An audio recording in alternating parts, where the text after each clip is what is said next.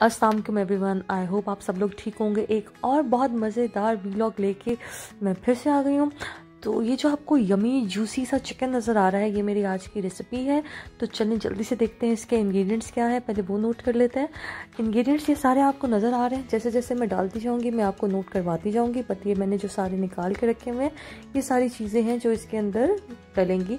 मैं कोई मसाला यूज़ नहीं कर रही हूँ ख़ुद के से ही सारे चीज़ों से मैं बना रही हूँ जो घर के स्पाइसेस होते हैं उनसे ही मैं ये सारी चीज़ें रेडी कर रही हूँ।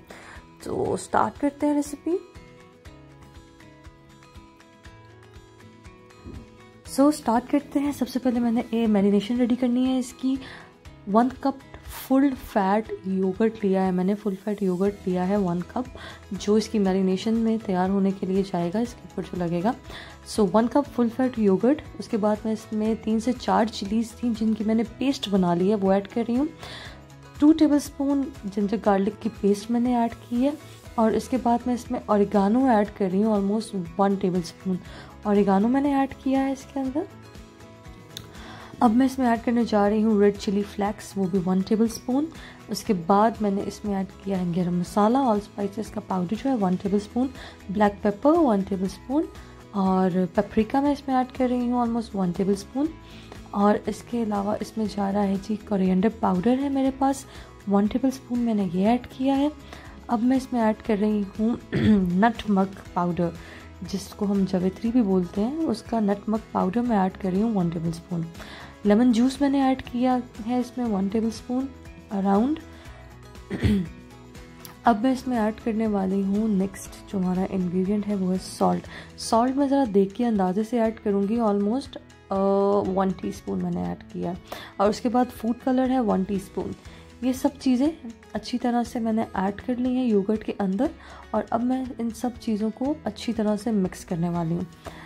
ये मैंने चिकन भी बिल्कुल फ्रेम के अंदर साइड पे कर लिया कि नज़र आए हम रोस्टेड चिकन बना रहे हैं आज। सो लेट स्टार्ट इसको हम अच्छी तरह से इस तरह से बिल्कुल अच्छी तरह से मैं सब चीज़ों को मिक्स कर रही हूँ। सो so, अच्छी तरह से मिक्स कर लिया मैंने सारे इंग्रेडिएंट्स को और इसकी एक बहुत ही थिक सी क्रीमी सी पेस्ट बन गई है बिल्कुल। अब ये देखिए सारा फ़ूड कलर और डिफरेंट जो स्पाइसेस थे हमारे ऐड करके पेस्ट बना लिया। अब जो नेक्स्ट स्टेप है मेरा, मैंने almost two tablespoon yogurt लिया है। इसके अंदर मैंने टू ऑलमोस्ट चिकन क्यूब्स डाली हैं। जो दो चिकन क्यूब्स थी वो मैंने डाल के इसको अच्छी तरह से मिक्स किया है विस्क कर रही हूँ मैं, ताकि जो चिकन क्यूब्स हैं, ये योगर्ट के अंदर बिल्कुल मिक्स हो जाए। और हमारे जो नीचे जो हमने बटर तैयार किया है चिकन के ऊपर लगाने के लिए उसके ऊपर हम ये चिकन क्यूब का भी एक टेस्ट दे देंगे। तो ये मैंने बिल्कुल अच्छी तरह से इसको मिक्स किया था, चिकन क्यूब्स को, और मैंने ये उसी दही के अंदर, उसी योगर्ट मैरिनेशन के अंदर ऐड कर दिया जो हमने बनाई थी। इसमें बस चिकन का एक अच्छा और फ्लेवर आ जाएगा। अच्छा ये बिल्कुल माइल्ड फ्लेवर की चिकन होगी। इसमें कुछ इतने मैंने बहुत हाई स्पाइसेस नहीं डाले हैं जो बहुत स्पाइसी नहीं बना रही हूँ ये बहुत ही माइल्ड चिकन बनेगा। सो so, रेडी है हमारा। जो मैरिनेशन थी वो मैंने तैयार करके साइड पर रख दी है। अब ये चिकन है। इसको मैं कट लगा रही हूँ। ये जो आपको साइड साइड से येलोज नज़र आ रहा है ये फ़ूड कलर लग गया है इस पर अब इस तरह से मैंने इसके ब्रेस्ट के ऊपर तीन कट लगाए हैं। तीन बड़े कट मैंने इसके ऊपर लगा दिए। ये देखें। ताकि अच्छी तरह से रोमा जाए। अब जो इसके लेग्स हैं, इसके ऊपर भी मैं कट लगा रही हूँ। ये अच्छी तरह से लग गए हैं कट ये देखिए, अंदर तक मैंने लगा दिए। अब मैं ले रही हूँ एक बेम्बू स्टिक और बेम्बू स्टिक को, की हेल्प से अच्छी तरह से अंदर अंदर तक इसके कुछ होल्स कर रही हूँ, ताकि जब मसाला जाए तो इसके अंदर भी वो सिंक करता हुआ चला जाए। तो इस तरह से आप फोक भी ले सकते हैं, कोई बेम्बू स्टिक है आपके पास तो वो भी ले सकते हैं। जैसे आपको बेटर लगे। अब हाथों का काम स्टार्ट हो गया। हाथ मैंने अच्छी तरह से वॉश किए थे। अब रिंग्स वगैरह मैंने इसलिए उतार दिए हैं कि जो चीज़ें हैं वो अक्सर आपने जो भी कुछ पहना होता है हाथों में, उसके अंदर चली जाती हैं। तो जिस स्टार्ट अब इस तरह से आपने अपनी फिंगर की हेल्प से पूरे चिकन को मैरिनेट करना है। इसलिए मेरी मामा गुजर रही थी साइड से तो वो भी फ्रेम में आ गई हैं। तो उनको आप इग्नोर करें और चिकन के ऊपर कंसनट्रेट करें। ये देखें। अब मैं चिकन को बहुत अच्छी तरह से सारा जो मसाला है, वो अच्छी तरह से इसके ऊपर लगा रही हूँ। और बहुत ज़रूरी है कि आप हाथ से लगाएँ और ऐसे लगाएँ कि हर जगह के ऊपर मसाला जो है वो लग जाए और बहुत अच्छे से लग जाए। ये देखें, ओके। पहले टॉप वाली साइड हम कंप्लीट करेंगे इसकी अच्छी तरह से। फिर मैं इसको उल्टा करके इसके दूसरे साइड पे लगा दूँ। इसे चिकन को मसाला लगाना एक तो मुझे थोड़ा सा फ़नी लग रहा है, इस तरह से लगाना। लेकिन ये देखें इसको हमने इस तरह से ऊपर की तरफ़ किया है और अंदर तक मसाला हमने लगाना है, ताकि हर बाइट के अंदर जो है वो टेस्ट आए। ये देखिए, अंदर तक मैंने इसकी मैरिनेशन जो है वो लगा दी है। अब ये बैक है इसकी, और आपने इसी तरह बैक को भी अच्छी तरह से मसाला लगा देना है।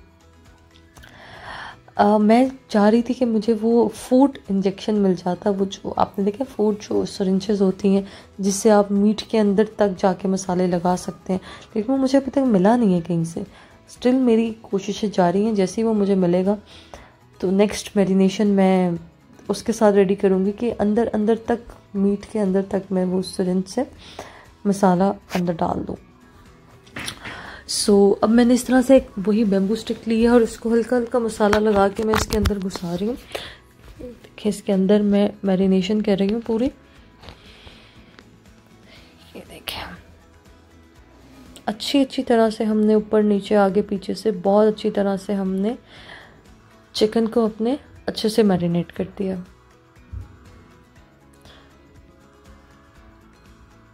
बिल्कुल साइड से, आगे पीछे से, ऊपर नीचे से, हर जगह से हो गया।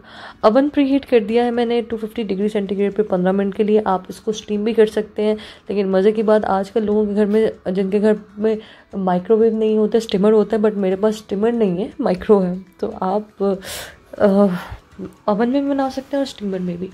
अब नेक्स्ट स्टेप जो है, मैंने टोमेटोज़ लिए हैं और कुछ अनियन लिए हैं। इसको मैं इसी मसाले के अंदर अच्छी तरह से मैरिनेट कर रही हूँ। और मैरिनेट करने के बाद मैंने फिल कर दिया है चिकन के अंदर। ये देखिए, सारी चिकन के अंदर, आप चाहें तो कुछ और वेजीज भी इसके अंदर डाल सकते हैं बट मेरे पास अभी जो अवेलेबल थी, मैंने वो उन्हीं को डाल दिया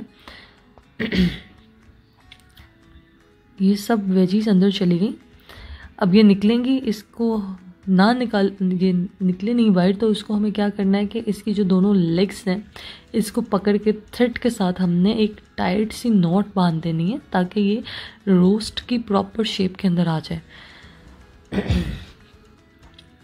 ये देखिए, मैंने अच्छी तरह से थ्रेड की हेल्प से नोट बाँध दिया एक।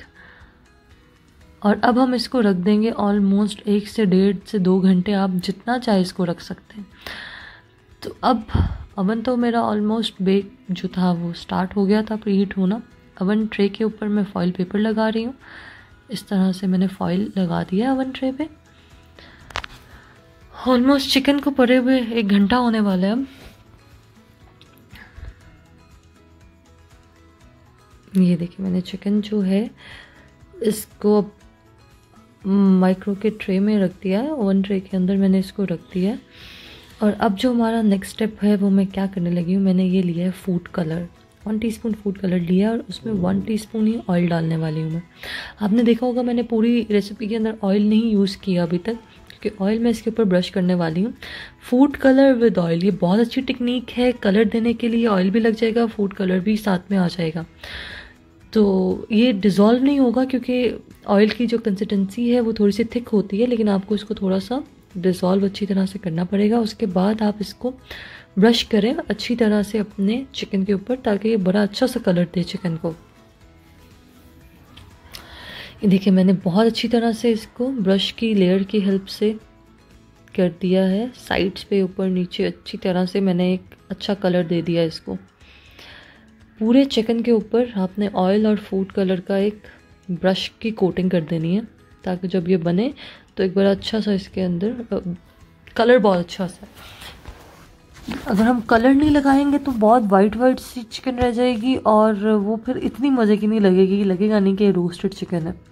तो अब आप इसको नीचे उठा के अच्छी तरह नीचे से भी ब्रश की कोटिंग करते हैं अच्छी तरह। जितनी देर जो साइड्स पे नज़र आ रही हैं अभी, जो आपको लगेगा कि ऊपर हीट है, जहाँ से वो पकेगा उसको मैंने प्रॉपर अभी ब्रश से कोट कर दिया है। बाकी हम जब इसको पलटेंगे, उसके बाद हम निचली साइड पे पूरी तरह से कलर लगा रहे हैं। अभी मैंने इसको उल्टा किया तो ये कलर फिर सारा नीचे फॉइल पेपर पे लग जाएगा। तो ओवन हमारा प्री हीटेड है। अब आप इसमें मैं ऐड करने वाली हूँ जी, ये रख दिया है मैंने हमारा चिकन रोस्ट होने के लिए। अच्छे से ग्रिल करने के लिए मैंने चिकन रख दिया अंदर। अब हम इसको छोड़ देते हैं। और चेक करते रहेंगे साथ साथ ऑलमोस्ट बीस मिनट हो गया है, इसको बनते हुए देखें कितना अच्छा कलर आ गया है, कितना मज़े का ये कलर आ रहा है।